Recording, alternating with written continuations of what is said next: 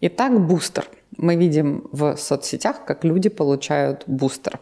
Говорят, что это достаточно легко и удобно. Кому же он нужен? Всем, всем, всем, когда? Через 6 месяцев после второй дозы вакцины от COVID. Идите и делайте бустер, если время подошло.